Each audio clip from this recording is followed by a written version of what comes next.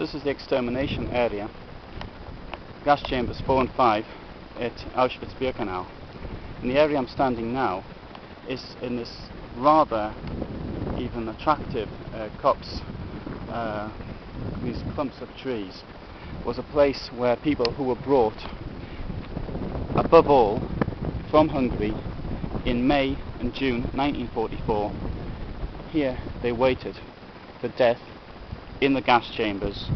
Gas chamber 4, which is now uh, directly in front of me, and gas chamber 5, which is to the other side. And beyond gas chamber 5, there was even the area where bodies were burnt in the open. The, the, the victims who had been brought here to this place uh, were more or less controlled where they could walk. The, uh, the gas chambers themselves hid the places where the, uh, the bodies were being burnt, but the, the smell must have given the game away that something very unpleasant was happening in this area.